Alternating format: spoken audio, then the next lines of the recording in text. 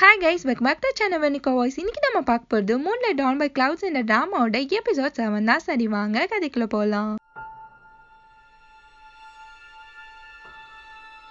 Hero பின்னாடி ஹீரோயினும் கிம்மும் வந்துட்டு இருக்காங்க ஹீரோ அவங்க கிட்ட நீங்க போய் ரெஸ்ட் எடுங்கன்னு சொல்றான். அதுக்கு கிம் நாங்க உங்களை பேலஸ்ல விட்டுட்டு போறோம்ன்றான் ஹீரோ ஹீரோனை பார்த்துட்டு அவனை பாரு சீக்கிரம் அந்த கோழி மாதிரியே நின்னுட்டு இருக்கான் விட்டா செத்துருவான் போல இருக்கு அப்படின்ற மாதிரியே கிண்டலா சொல்லிட்டு இருக்கான் அங்க ஜியாங் வேகமா ஓடி வந்து இளவரசர் கிட்ட இவ்வளவு நேரமா நீங்க எங்க போனீங்க? அப்படின்னு சொல்லி கத்திட்டு இருக்காரு அதுக்கப்புறம் ஹீரோனை பார்த்துட்டு ஒரு மாதிரி இவனையுமே காப்பாத்தி கூட்டிட்டு வந்துட்டீங்க அப்படின்ற மாதிரியே சொல்றாரு. ஹீரோ கிட்ட உங்களுக்கு ஏதாச்சும் அடிபட்டிருக்கா? அப்படின்னு சொல்லிட்டு பாசமா பொங்கிட்டு இருக்காரு ஹீரோ சத்த நேரம் சிவனேன்னு இறையா அப்படின்ற மாதிரியே அவரோட வாயில அவனோட கைய வைக்கிறான். கிம்மும் நாங்க போறோம்னு சொல்றான். ஹீரோவும் சரி ஓகே அப்படின்னு சொல்லிட்டு அங்கேருந்து கிளம்பிடுறான். கிம்முக்கு செம்மையா அடிபட்டிருக்கும். ஹீரோன் அதை பார்த்துட்டு என்னால தானே உனக்கு இவ்வளவு அடிபட்டிருக்கு அப்படின்னு சொல்லிட்டு பாவமா கேக்குறா கிம் அவகிட்ட இதெல்லாம் உன்னால இல்ல இதுதான் என்னோட வேலையே அப்படின்ற மாதிரியே சொல்லிட்டு இருக்கான். ஹீரோன் அவன் கிட்ட நீ இன்னைக்கு என்ன காப்பாத்திருக்க. அது மட்டும் இல்லாம அன்னைக்கு உடம்பு சரியில்லாம இருந்தப்போ நீ தான் என்ன பக்கத்துல இருந்து நல்லா பாத்துக்கிட்ட அப்படின்ற மாதிரியே சொல்லிட்டு இருக்கா. அதுக்கு கிம் சொல்றான். நான் ஆயிரம் வாட்டி சொல்லிட்டேன். அது நான் இல்லைன்றான். அப்பதான் ஹீரோயின் நீ இல்லைன்னா அது வேற யாரா இருக்கும்? அப்படின்னு போதுதான் ஹீரோயினுக்கு ஒண்ணு ஞாபகம் வருது. ஹீரோ அந்த லண்டன் ஃபெஸ்டிவல் அப்போ ஹீரோயின் கிட்ட அவளோட அம்மாவை பத்தி கேட்டிருப்பான். இப்பதான் ஹீரோயின் நல்லாவே யோசிச்சு பாக்குறா. அவ உடம்பு சரியில்லாம இருந்தப்போ ஹீரோ தான் அவ பக்கத்துல உட்காந்துருப்பான் ஹீரோயின் அதை நினைச்சு பார்த்துட்டு அந்த கிம் கிட்ட இந்த பேலஸுக்கு வந்ததுக்கு அப்புறம் தான் என்னோட உசிரே திரும்ப வந்துச்சுன்னு சொல்றான். ஹீரோன் அவன் கிட்ட நீ ஒருக்கா அந்த பேலஸ்ல இருக்கவங்க நமக்கு பிடிச்சா இந்த பேலஸே பிடிச்சு போயிருன்னு சொன்னதானா அப்படின்ற மாதிரியே பண்ணிட்டு இருக்கா அதுக்கு கிம் நீ இப்போ ரொம்பவே டயர்டா இருப்பா. போய் தூங்குன்றா. ஆனா ஹீரோயின் விடாம எனக்கு இந்த பேலஸ் ரொம்பவே பிடிச்சு போயிருமோன்னு பயமா இருக்குன்னு சொல்லிட்டு இருக்கா நெக்ஸ்ட் டே யூங் ஜங் வேகமா எல்லாருமே இடிச்சு தள்ளுற அளவுக்கு அறக்க பறக்க ஓடி வரான். எங்கடான்னு பார்த்தா ஹீரோனை பாக்குறதுக்காண்டி தான் வரான். ஹீரோன் அவனை பார்த்துட்டு நீ என்ன இங்க? அப்படின்னு சொல்லி கேக்குறா. அதுக்கு யூங் ஜங் உனக்கு அடிலாம் எதுவும் பல்லல. அப்படின்னு சொல்லிட்டு ரொம்பவே பதட்டமா கேக்குறான். ஹீரோன் அவன் கிட்ட நீ எனக்காண்டி ரொம்பவே கவலைப்படுறியா என்ன? அப்படின்னு சொல்லி கேக்குறா. அதுக்கு யூன் ஜங் அது எப்படி நான் கவலைப்படாம இருப்பேன்னு சொல்றான். யூன் அவகிட்ட நீ எனக்கு ஒரு இம்பார்ட்டன்டான பர்சன் சொல்றான். இப்படியே ரெண்டு பேருமே ஜாலியா சிரிச்சு பேசிட்டு இருக்காங்க. ஹீரோக்கு தான் மூக்கு வேத்துடுமே கரெக்டா அங்க வந்துடுறான். யூன்சங் ஹீரோவை பார்த்து நீ சேஃபா வந்ததுல எனக்கு ரொம்பவே சந்தோஷம்ன்றான். ஹீரோ அவனை பார்த்துட்டு நீயும் இந்த பிளான்ல ரொம்பவே ஹெல்ப் பண்ணன்னு சொல்லி கேள்விப்பட்டேன்றான். யூன் அவன் கிட்ட இதுல ஹெல்ப் பண்றது எனக்கு ரொம்பவே இம்பார்ட்டன்ட்னு சொல்லிட்டு இருக்கான். ஹீரோன் ஒண்ணுமே புரியாம மாத்தி மாத்தி பார்த்துட்டு இருக்கா. ஹீரோ அவன் கிட்ட இத நீ எனக்காண்டி பண்ணலன்னு சொல்ல வரியா? அப்படின்னு சொல்லும்போது யூன்சங்கும் அதுக்கு ஆமான்றான். ஹீரோ அங்கேருந்து கிளம்பி போறான். ஹீரோனும் அந்த யூன்சங்கிட்ட நானும் கிளம்புறேன் அப்படின்னு சொல்லிட்டு ஹீரோ பின்னாடியே போயிட்டு இருக்கா இங்க அந்த ராணியை காமிக்கிறாங்க. ஏதோ ஒரு விஷயத்துக்காண்டி குலுங்கி குலுங்கி சிரிச்சிட்டு இருக்கா அந்த மச்சக்காரன் ராணி கிட்ட நீங்க எதுக்காண்டி சிரிக்கிறீங்கன்னு சொல்லி கேக்குறான். அதுக்கு அந்த ராணி நம்மளோட இளவரசர் ஒரு வேலைக்காரனுக்காண்டி இவ்ளோ போராடி இருக்கானாமே அப்படின்னு சொல்லிட்டு நக்கலா சொல்லிட்டு இருக்கா அந்த மச்சக்காரன் ஹீரோ ஒரு கேன்னு கேள்விப்பட்டேன்னு சொல்லிட்டு இருக்கான் அதுக்கு அந்த ராணி ஒருவேளை அந்த வேலைக்காரன் சம்னமோட இருக்குமோ? அப்படின்னு சொல்லி கேக்குறா. அதுக்கு அந்த மச்சக்காரனும் ஆமான்னு சொல்லி காட்டுறான். அந்த ராணிக்கு ஒரு வேலை செய்யற பொண்ணு ஃபுட்டை கொடுக்குறா. அதை அவ குடிக்க போகும்போது அந்த பொண்ணுக்கு வாமிட் வர மாதிரி ஆயிடுதா? அந்த பொண்ணு அந்த ராணி கிட்ட சாரி கேட்டுட்டு இருக்கா அந்த ராணி செம்ம கடுப்பாயி அந்த ஃபுட்டையே தூக்கி எரிஞ்சிடுறா அந்த பொண்ணையுமே செம்மையா பிடிச்சி கத்திட்டு இருக்கா அந்த பொண்ணை இழுத்துட்டு போக சொல்லி ஆர்டர் கொடுக்குறா. ஹீரோயின் ஹீரோ கிட்ட வந்து நீங்க எதுக்கு சாப்பிடலன்னு சொல்லி கேக்குறா. அதுக்கு ஹீரோ என்னோட ஃபுட்ல பாய்சன் இருக்கான்னு செக் பண்ணணும்ன்றான். ஹீரோயின் சரி ஓகே இருங்க. நான் வேற யாராச்சும் கூப்பிடுறேன்னு சொல்றா. அதுக்கு ஹீரோ அதெல்லாம் ஒண்ணும் வேணா நீயே அதை செக் பண்ணுன்றான். ஹீரோயினும் ஹீரோ கிட்ட நான் தான் சாப்பிடணுமா? அப்படின் போது ஹீரோவும் ஆமான்னு சொல்லி மண்டையாட்டான் ஹீரோயினும் அதை எடுத்து சாப்பிட ஆரம்பிக்கிறா. ஹீரோனுக்கு அந்த ஃபுட்டோட டேஸ்ட் செம்மையா பிடிச்சு போயிடுது. ஆஹா செம்மையா இருக்கே அப்படின்ற மாதிரியே நினைக்கிறா. அதுக்கப்புறம் ஹீரோ கிட்ட இப்ப நீங்க சாப்பிடலாம்னு சொல்றா. ஹீரோ ஒவ்வொரு ஸ்பூனா எடுத்து சாப்பிட்டுட்டு இதுக்கு உப்பு இல்ல இதுக்கு புளி இல்லைன்னு சொல்லிட்டு இருக்கான் ஹீரோயின் மறுபடியும் ஆரம்பிச்சிட்டாயா அப்படின்ற மாதிரியே நினைக்கிறா. ஹீரோ அவகிட்ட என்னால இந்த ஃபுட்டை சாப்பிட முடியாது. நீயே சாப்பிடுன்னு சொல்லி தள்ளி விடுறான் ஹீரோயின் கொஞ்சமாச்சும் சாப்பிடுன்னு சொல்லி அவங்க கிட்ட சண்டை போடுறா.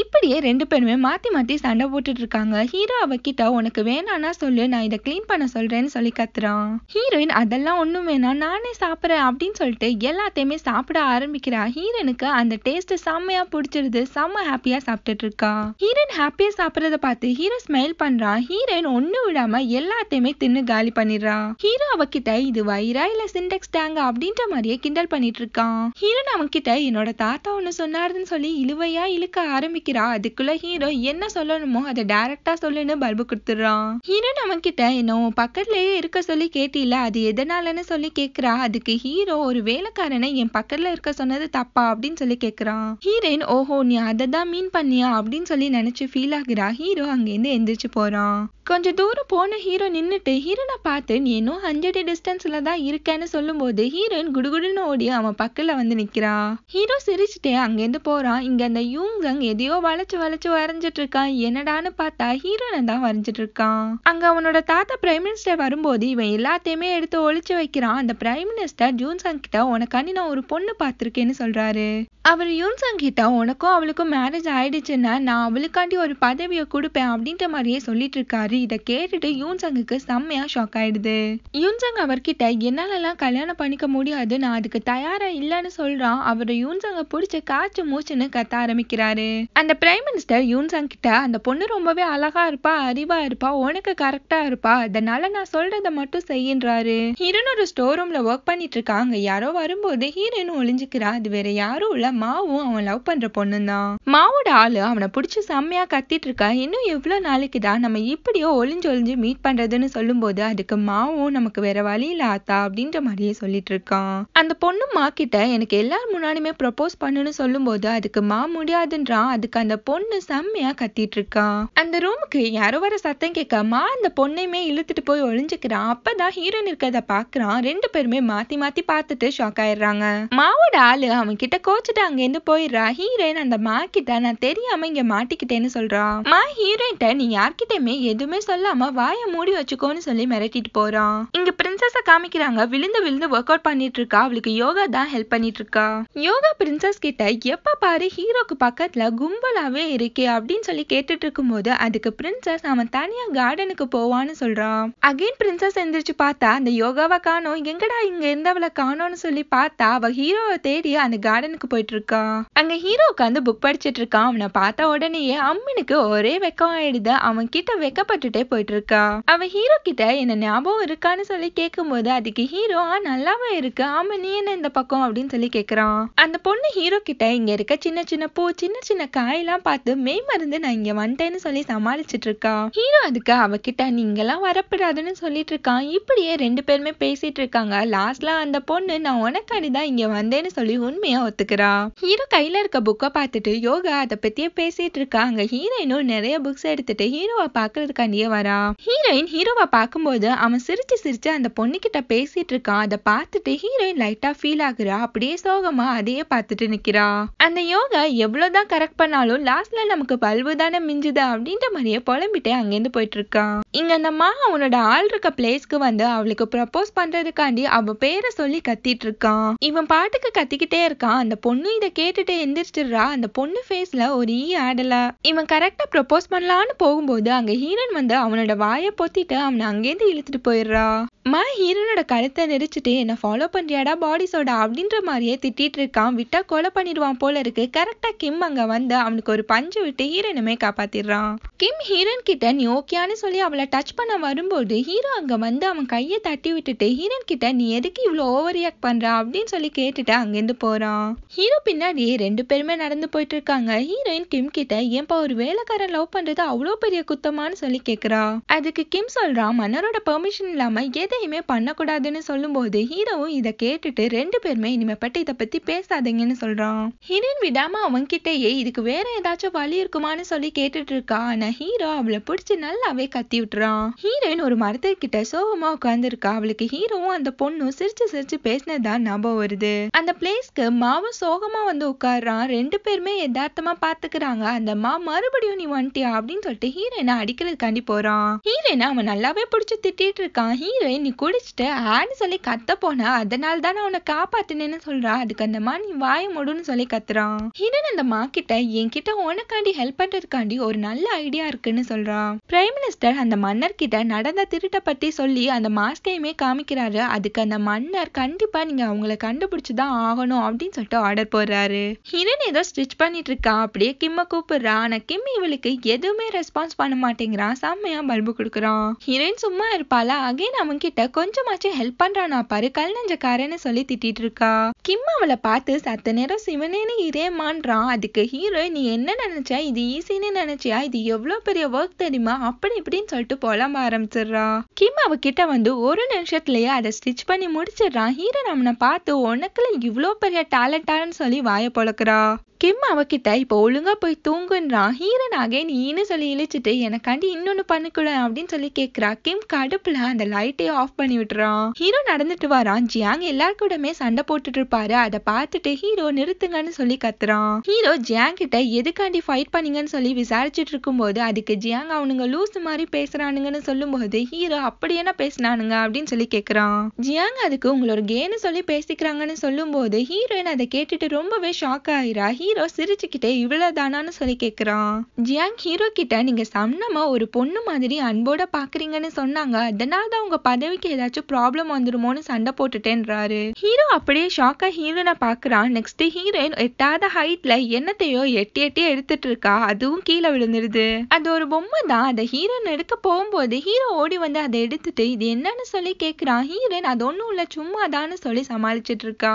அந்த பொம்மைய மாத்தி மாத்தி இழுத்துட்டு இருக்காங்க. பொம்மையே பிஞ்சிடும் போல இருக்கு. ஹீரோ அவகிட்ட நீ இப்ப சொல்லலன்னா அவ்வளவுதான்றான் ஹீரோ நம்ம கிட்ட நான் ஒன்னும் சொல்ல போறது இல்ல இந்த பொம்மை தான் கதை சொல்ல போகுதுன்னு சொல்லும் போது ஹீரோ நீ அந்த மாக்கு ஹெல்ப் பண்ண தானே பாக்குற? அதை பண்ணாதன்றான். ஹீரோன் அதுக்கு நாங்க ஒன்னும் ரூல்ஸை மீறி பண்ண போறது இல்லையேன்னு சொல்றா. அதுக்கு ஹீரோ நீங்க லவ்வர் சொன்னாலுமே ஒன்னும் ஆக போறது இல்லன்னு சொல்லிட்டு அங்கிருந்து போறான். ஹீரோன் ஹீரோ கிட்ட மா கொஞ்சம் கவனக்குறைவா இருந்துட்டான் தான் இந்த பேலஸ்ல இருக்க எல்லா பொண்ணுங்களுமே மன்னருக்குரிய பொண்ணுங்கன்னு மறந்துட்டான் தான்றா இருந்தாலும் அவனோட ஃபீலிங்ஸ்க்காண்டி ஒரு வாட்டியாச்சும் இதை பண்ணலாம்ல? அவனோட மனசுல இருக்க ஃபீலிங்ஸை அட்லீஸ்ட் வெளிப்படுத்தாச்சும் செய்யலாம்ல அப்படின்னு சொல்றான். ஹீரோ எதுவுமே பேசாம சைலண்டா அங்கேருந்து போயிடுறான். இங்க யூங் ஜங் ஒரு பாக்ஸையே குறுகுறுன்னு சொல்லி பார்த்துட்டு இருக்கான். ஹீரோன் அங்க வந்து அவன் பக்கத்துல உட்கார்றா யூன்ஜங் அவளை பார்த்து உன்னை யாரு சேடாக்கினா அப்படின்னு சொல்லி கேட்குறான் மூஞ்சிய பார்த்தே கண்டுபிடிச்சிருவான் போல. ஹீரோயின் அதுக்கு நான் தான் காரணம். ஹீரோக்கு நான் ஒரு தொல்லையா மட்டும்தான் இருக்கேன்னு நினைக்கும் போது அது எனக்கே கஷ்டமா இருக்குன்றா. யூன்ஜங் அந்த பாக்ஸை ஓப்பன் பண்றான். அதுக்குள்ள ஒரு பொண்ணு ட்ரெஸ் இருக்கு. அதை ஹீரோயின் பார்த்துட்டு இது அந்த இம்பார்ட்டன்ட் பர்சனுக்கு கொடுக்க நினைச்ச ட்ரெஸ் தானேன்னு சொல்லி கேக்குறா. யூங்சங்கோ ஆமா இப்ப அந்த பொண்ணுக்கு கொடுக்க வேண்டிய நேரம் வந்துடுச்சு அப்படின்னு சொல்லிட்டு அதை ஹீரோயின்ட்டே கொடுத்து உனக்கு பொண்ணா வாழ ஆசையே இல்லையான்னு சொல்லி கேக்குறான் ஹீரோயின் என்ன சொல்றேன்னே தெரியாம முழிச்சிட்டு இருக்கா. இங்க அந்த யோகா கிட்ட அவளோட அப்பா பேசிட்டு இருக்காரு. யோகாவோட அப்பா அவ கிட்ட உனக்கும் பிரைம் மினிஸ்டரோட பேரன் யூன்சங்குக்கும் கல்யாணம் பண்ணலான்னு நினைக்கிறேன்னு சொல்லிட்டு அவரோட முடிவை சொல்லிட்டு இருக்காரு. அதுக்கு யோகாவும் எனக்கு கல்யாணம்னா அது எனக்கு பிடிச்சவன் கூட தான் நடக்கணும்னு சொல்றா. இங்க ஹீரோயினும் எனக்கு இப்படியே இருக்கதான் பிடிச்சிருக்குன்னு சொல்றா.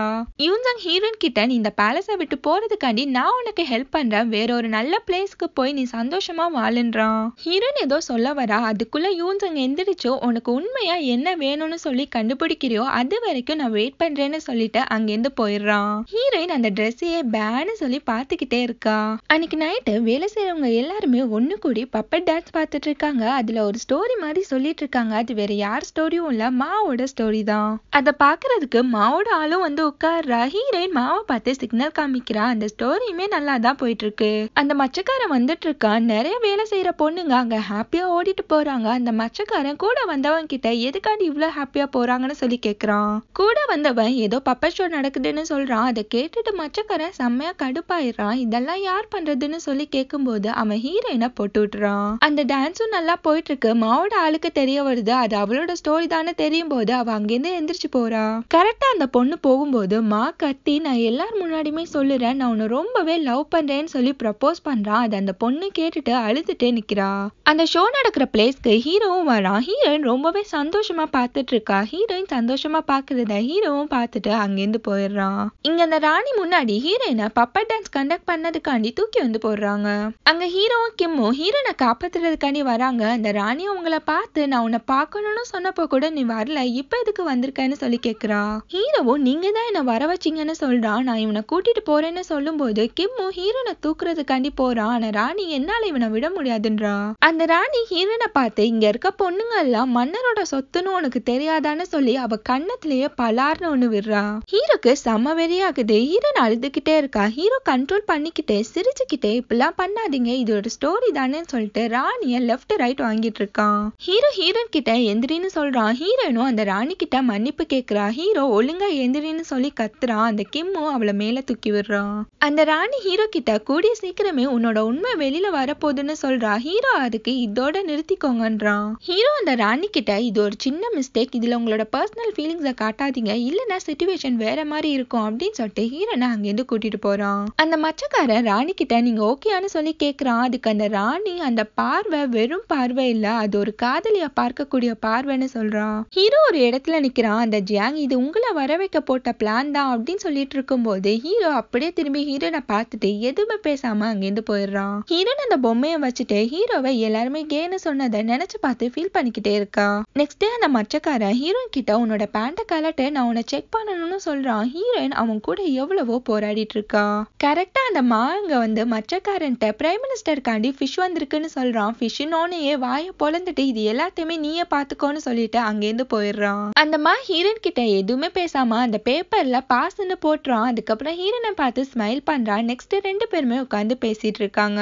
ஹீரோன் அவன் கிட்ட நான் ஒரு பொண்ணுன்னு உனக்கு எப்ப தெரியும்னு சொல்லி கேக்குறா? அதுக்கு அந்த மா எனக்கு முன்னாடியே தெரியும்ன்றான். ஹீரோயின் அவன் கிட்ட சாரி கேக்குறா. அதுக்கு அவன் நீலாம் சாரி கேட்க தேவையில்ல. நான் தான் உனக்கு தேங்க்ஸ் சொல்லணும்ன்றான். மா ஹீரோனை பார்த்து நீங்க இருக்கிறது சேஃப் இல்லைன்றான். ஹீரோயின் எனக்கும் தெரியும். கூடிய சீக்கிரமே நான் இங்க இருந்து போகணும்னு சொல்றான். ஹீரோ முன்னாடி போயிட்டு இருக்கான். ஹீரோயின் பின்னாடியே போயிட்டு இருக்கா. ஹீரோ அவளை திரும்பி திரும்பி பார்த்துக்கிட்டே போறான். ஹீரோ அவகிட்ட வந்து எதுக்கு மூஞ்சிய தொங்க போட்டிருக்க? என்னை பார்க்க கூட மாட்டேங்கிற. யாராச்சும் ஏதாச்சும் சொன்னாங்களான்னு சொல்லி கேட்குறான் ஹீரன் அதெல்லாம் ஒண்ணும் இல்லைன்றா. ஹீரோ அப்ப என் மேல கோவமா இருக்க தானே? அப்படின்னு சொல்லிட்டு அவ கிட்ட வாரான். ஹீரோயின் அவன் கிட்ட இருந்து விலகி போறா ஹீரன் அவன் கிட்ட நான் ஒரு வேலைக்காரன் தானே. என்ன நல்லபடியா ட்ரீட் பண்ணாத. நீயும் நானும் ஃப்ரெண்ட்ஸா இருக்க முடியாது. உன்னை விட்டு ஒரு ஸ்டெப் தள்ளியே தான் நான் இருக்கணும்னு சொல்றான். ஹீரோ அவகிட்ட நீ என்னோட பர்சன்னு சொல்றான். ஹீரோயின் நீ எல்லாரும் மாதிரியுமே என்னை ட்ரீட் பண்ணுன்னு சொல்றா. ஹீரோ எதுவுமே பேசாம அங்கிருந்து போயிடுறான். ஹீரோ உட்கார்ந்து இருக்கான் அவனுக்கு ஹீரோயின் பேசினதுதான் ஞாபகம் வர ஏதோ உட்கார்ந்து எழுதிட்டு இருக்கான். இங்க ஹீரோயின் அந்த பொண்ணு ட்ரெஸ்ஸே பார்த்து மா சொன்னதை நினைச்சு பாக்குறா ஹீரோயின் கார்டனுக்கு வரா. அங்க ஹீரோ அவளுக்காண்டி வெயிட் பண்ணிட்டு இருக்கான். ஹீரோயின் அங்க வந்து என்ன கூப்பிட்டீங்களா? அப்படின்னு சொல்லி ஹீரோ கிட்ட கேக்குறா. ஹீரோ அவ கிட்ட வந்து நான் ஒரு பொய் சொல்லிட்டேன். நீ என் பக்கத்திலே இருன்னு சொன்னதுக்கு நீ ஒரு வேலைக்காரன்றது மட்டுமே அர்த்தம் இல்லைன்றான். ஒவ்வொரு நாளுமே இந்த ஆன்சரை நான் கண்டுபிடிக்கணும்னு சொல்லிட்டு என் மண்டே கசக்கி புழிஞ்சுதான் இதை கண்டுபிடிச்சிருக்கேன் அப்படின்னு சொல்லிட்டு ஹீரோனை பிடிச்சி இழுக்கிறான். ஹீரோயின் அவன் கிட்ட நீங்க என்ன பண்றீங்கன்னு சொல்லி கேட்கிறா அதுக்கு ஹீரோ நானும் ஒரு மனுஷன் தானு சொல்லிட்டு ஹீரோனுக்கு ப்ரொபோஸ் பண்றான். ஹீரோனுக்கு செம்ம அள்ளு விட்டுறது அப்படியே ஷாக்ல உறைஞ்சு போய் நிக்கிறா. ஹீரோன் அவன் கிட்ட என்னதான் நீ இளவரசரா இருந்தாலும் எப்படி ஒரு பையனை லவ் பண்ணுவ? அதுவும் ஒரு வேலைக்காரன. அப்படின்னு சொல்லி கேக்குறா. ஹீரோ என்னோட ஃபீலிங்ஸ தப்புன்னு சொல்லாதன்றான். ஹீரோயின் நல்ல லவ் கெட்ட லவ்னு நிறையவே இருக்கு. கண்டிப்பா யாருமே இந்த லவ்வை ஏத்துக்க மாட்டாங்கன்றா. ஹீரோ ஹீரோ எனக்கும் அது தெரியும். இருந்தாலும் இந்த பேட் லவ்வை நான் ட்ரை பண்ண போறேன்னு சொல்லிட்டு ஹீரன் கிட்ட வரான். ஹீரோ அவ கிட்ட வந்து அவளை அணைச்சு பிடிச்சிக்கிறான். அதுக்கப்புறம் அவளோட கண்ணத்துல கைய வச்சுட்டு அவளையே குறுகுறுன்னு சொல்லி பார்த்துட்டு இருக்கான். ஹீரோயின் அவளோட கண்ணை இறுக்கி மூடிக்கிறா. ஹீரோ அவளை பார்த்து சிரிச்சுக்கிட்டே அவளை கிஸ் பண்ணிக்கிறான். இதோட இந்த எபிசோட் முடியுது. நெக்ஸ்ட் வீடியோட மீட் பண்ணலாம். நம்ம சேனல் உங்களுக்கு பிடிச்சிருந்தா மறக்காம like comment share and subscribe பண்ணிடுங்க. Thank you so much for வாட்சிங்